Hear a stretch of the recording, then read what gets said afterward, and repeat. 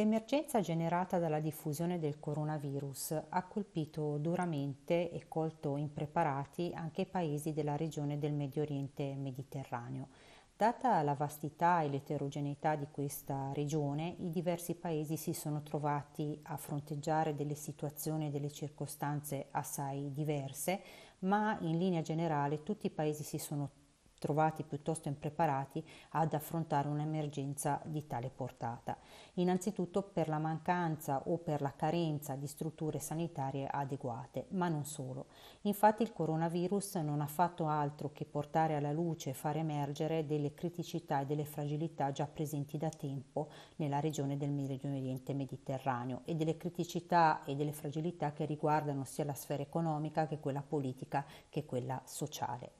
Eh, di fatto ci sono paesi, come sappiamo, che sono in conflitto da lungo tempo, come lo Yemen, la Libia e la Siria, dove sicuramente l'emergenza sanitaria ha portato una, una, a complicare una situazione già piuttosto precaria e difficile e complicata. Eh, la frammentazione per esempio politica e la presenza di forze politiche differenziate ha per esempio negato ad alcune parti della popolazione o reso inaccessibile a una parte della popolazione gli aiuti umanitari e anche le risorse e gli strumenti eh, sanitari necessari per fronteggiare un'emergenza sanitaria. D'altro, lato, d'altro canto, per esempio, ci sono emerse delle grosse difficoltà legate alle misure draconiane che la maggior parte dei paesi hanno dovuto mettere in atto per arginare la diffusione del virus.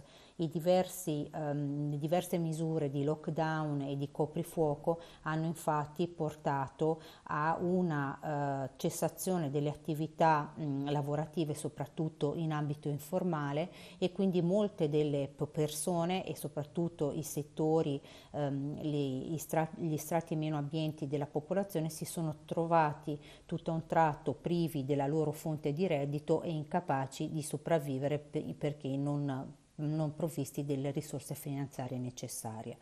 Quindi diciamo quello che adesso la regione del Medio Oriente Mediterraneo si accinge ad affrontare una crisi eh, economica, sociale e politica di grande portata che dovrà essere gestita in maniera eh, diciamo eh, concertata e con delle politiche eh, piuttosto mirate. Di fatto eh, sarà molto importante anche eh, cercare di stabilire e di promuovere una collaborazione tra i diversi paesi perché i problemi che affliggono alcuni dei paesi della regione del Medio Oriente Mediterraneo avranno necessariamente delle ripercussioni anche sui paesi europei, in particolare sui paesi europei del Mediterraneo. Fra i vari scenari che stanno cambiando sicuramente ci sono degli scenari economici legati anche alla crisi eh, dei prezzi del petrolio che porteranno alla formazione di nuovi equilibri, alla formazione di nuove influenze nella, nella regione e quindi eh, si vedranno eh, delle nuove evoluzioni.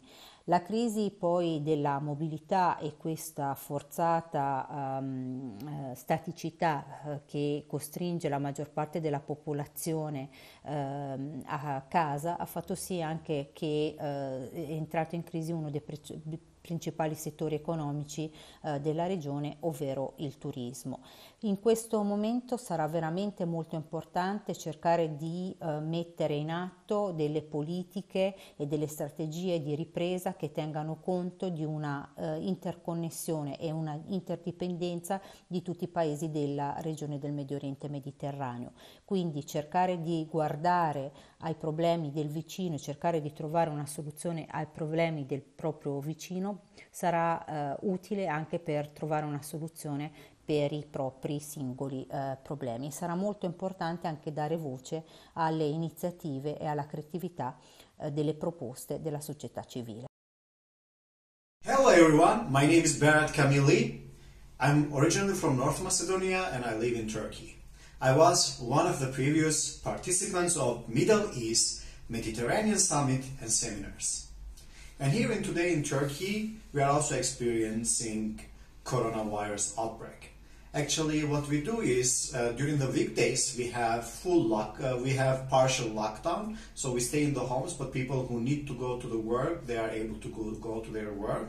And uh, during the week weekends actually uh, we uh, are going into the full uh, lockdown so we cannot go out and only the people working in hospitals are able to go out and do their jobs but we stay in home in lockdown so like many companies actually in turkey started operating online which can uh, have actually uh, which can employ their employees uh, like working online and the other ones who needs to go to the office they go I think this is the time for the digitalization, and I believe the time for social entrepreneurship. We are in lockdown. Uh, some people are feeling depressed. Some people see this as actually the personal update, and I'm one of the people who see this as a personal update.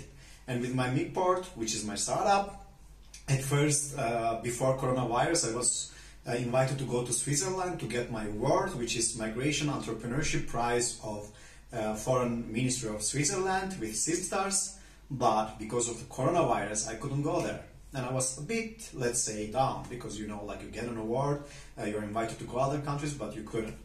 But then I didn't give up, and with Migport, what we do is we are doing migration management, which is a crisis. And I said, let's do this time my crisis management, and I started Coronaton Turkey uh, on an online hackathon, which brings students, entrepreneurs, communities together and enable them to find solutions to the problems of COVID-19.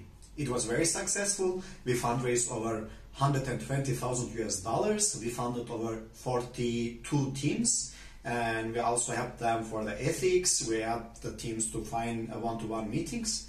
Uh, and after coordinating Coronaton Turkey with European Commission, we coordinated EU Vices Virus Hackathon, which is the literally the biggest hackathon of the world. And there I was working as a project manager. And what we did is this time we did a hackathon, not only specific to country or a region, but a hackathon which brought all the people from the earth and enabled them to team up and find solutions for COVID-19. So I see this as an update and I see this as an opportunity for us to update ourselves and treat the world better as we did before. Thanks.